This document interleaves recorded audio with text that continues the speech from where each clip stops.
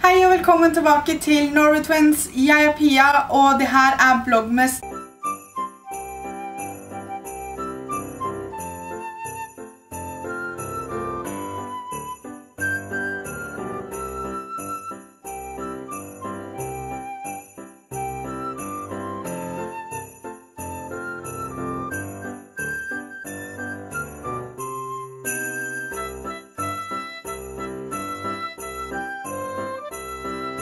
I dag så skal vi ta for oss litt julesnacks, og de, alle de her er da Pinterest-inspirert.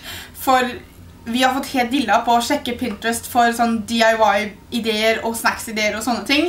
Jeg vet at den ene som dere skal se Guro lage etterpå, har også Zoella eh, tatt for seg i sin video. Men det her er veldig kjappe, enkle snacks-ideer som jeg tror dere kommer til å like.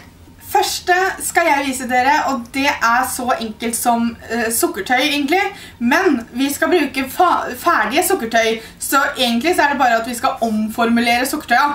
Og det du trenger det er litt forskjellige pepperkakeformer og sukkertøy som du velger selv. Jeg og Guro kommer til å bruke sånne candy canes.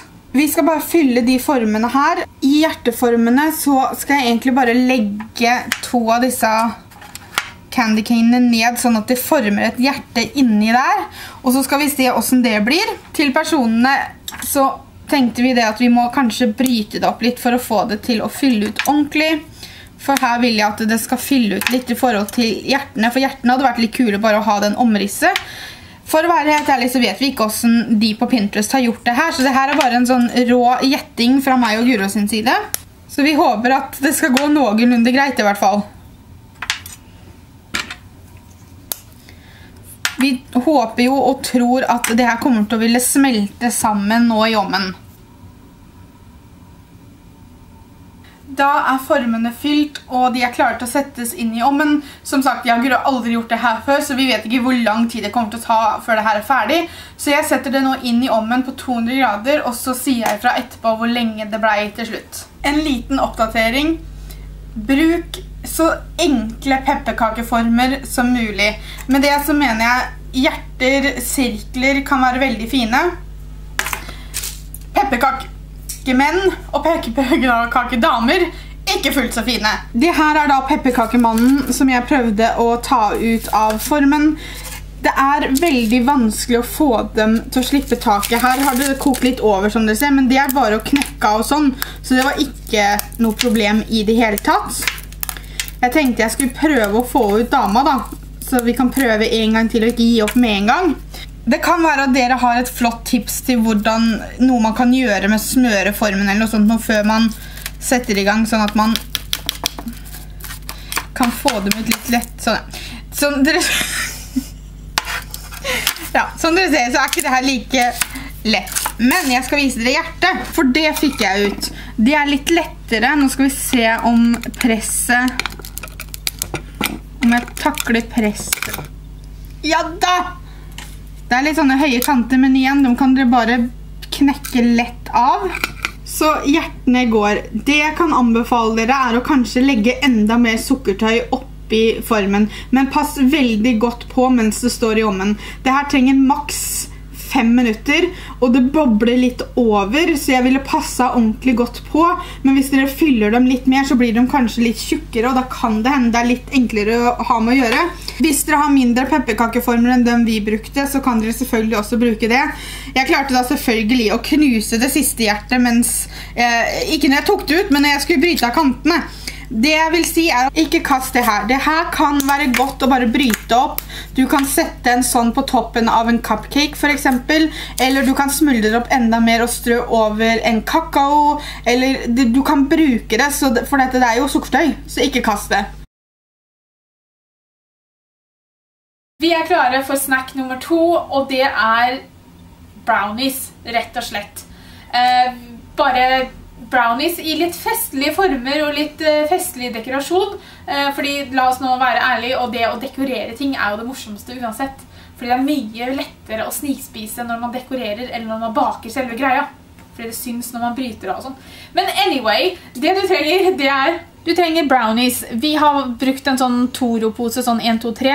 Har du mormors gamle oppskrift eller en fra en kokeboka på hylla, så bruk den. Vi bare vil gjøre det lettvint. Eh, så du trenger brownies, melis, litt forskjellige juleformer, holdt jeg på å si. Hva heter det her? Pepperkakeformer heter det. Så trenger du litt eh, strøssel av diverse former og smaker. Og litt forskjellige eh, konditorfarver. Det første jeg nå skal gjøre, er at jeg skal presse ut de formene jeg skal ha. Eh, trenger du flere enn fire kaker, så selvfølgelig lag mer brownies enn det vi har gjort. Men uh, vi, vi har, browniesen vår er ikke den største, for å si det sånn. Men da presser vi dem ut. Jeg legger formene oppå browniesen bare for at jeg ser at jeg får plass til alt. Den siste firkanten her skal jeg bruke til å skjære ut noe eget. Så da presser vi formene igjennom. Høy! Det var jo lettere sagt enn gjort, for å si det sånn. Og brownies kommer jo til å sprekke oppå, men det gjør ikke noe, for vi skal dekorere oppå likevel. Så bare skjærer jeg bort den firkanten jeg skal bruke etterpå. Og her kommer en gladnyhet, folkens. Det som er rundt, kan ikke brukes til noen ting. Så det kan vi spise på. Men eh, jeg skal være profesjonell og vente til senere, men vi tar det i hvert fall bort. Etter at jeg har skjært ut rektanglet mitt av denne browniesen, så skal jeg nå få det her over i trekanter. Jeg tenker at trekantene trenger ikke å være perfekte eller likesidede, eller hva det heter for noe, fordi at det er tross alt brownies, og vi skal spise dem. Eh, så jeg bare skjærer ned her. Da er det en trekant, og hvis du absolutt vil, så kan du legge en sånn.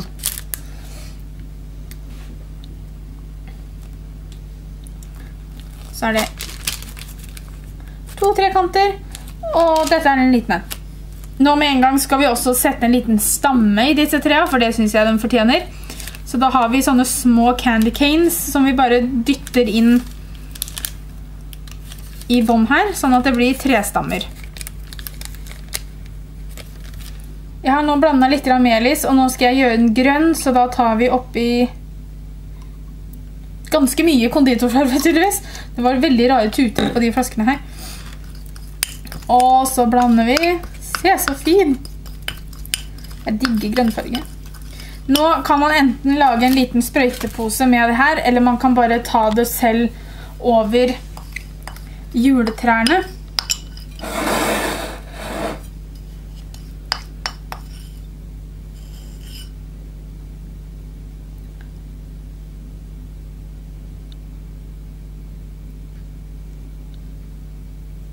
I det strøsselet her så hadde jeg noen sånne små som ligner på nonstop. Så jeg peller ut de røde og bruker dem som julekuler på treet vårt. Nå skal det innrømmes at de på Pinterest og de Soella lagde var mye finere enn de her. Men dere skjønner tegninga. Stjerna våre skal være hvit, så jeg har blandet en ganske tjukk melis. Som jeg da tar oppå her. Så smurer vi det utover.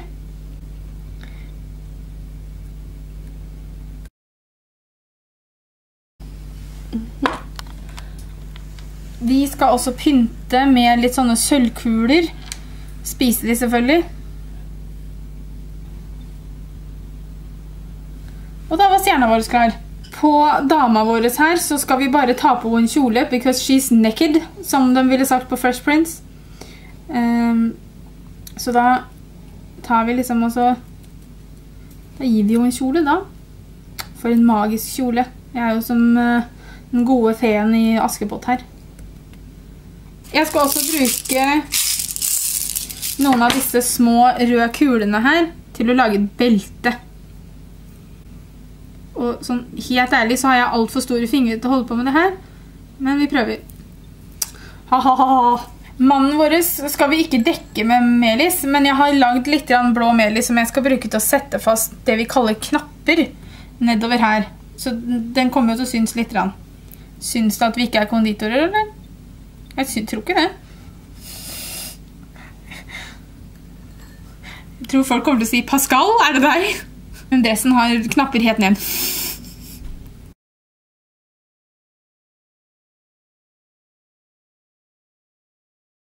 Snack nummer tre er et lite sånn spyd med en liten nisse på. Det høres litt dramatisk ut at vi nå skal eh, tre nissen på et spyd, men det er ikke så dramatisk som det høres ut som. Det du trenger, det er Du trenger druer, kan bruke røde eller grønne, en banan, litt mini-marshmallows eller store marshmallows som du da deler opp. Så trenger du jordbær og cocktailpinner. Jeg var så heldig at jeg fant rød cocktailpinner, og det passet jo perfekt. Det første vi skal gjøre er at vi skal skjære seks skiver med banan. Seks er bare fordi at jeg skal lage seks spyd. Du skjærer jo så mange du trenger, selvfølgelig. Nå er jeg kommet ut av tellinga. Fire, fem, seks. Så tar jeg også seks av de største druene jeg finner.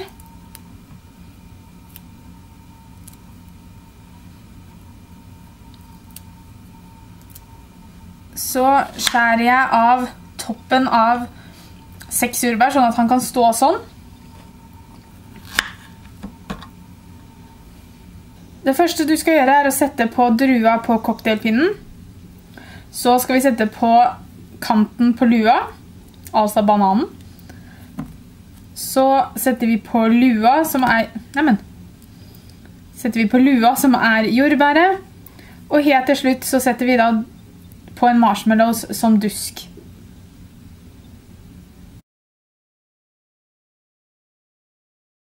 Siste snacken vi skal lage er små jordbærnisser, og de her er utrolig søte.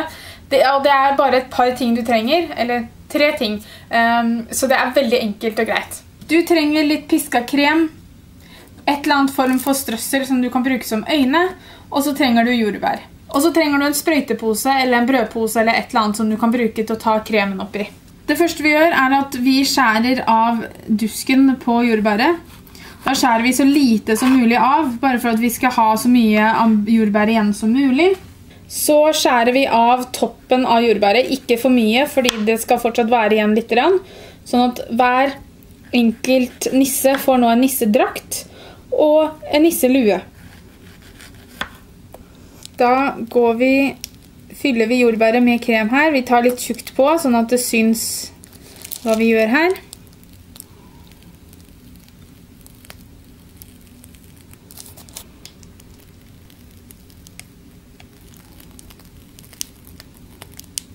Så setter vi på hatten igjen. Så tar vi en liten dert med krem på toppen for å lage dusken. Og det siste vi skal gjøre er at vi skal putte på stjerneøya.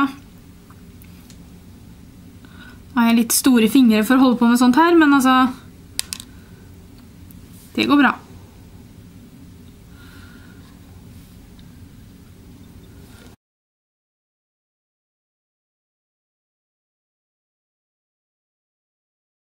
Der har dere den Pinterest-inspirerte julesnacksen vår. Hvis dere lager noe av det her, så send oss gjerne bilder på Snapchat, Gobi, Instagram, Facebook, Twitter, hva som helst. Alt av sosiale medier er linket under her hvis dere har lyst til å følge oss. Tusen, tusen takk for at dere så på, og så ses vi i morgen. Ha det!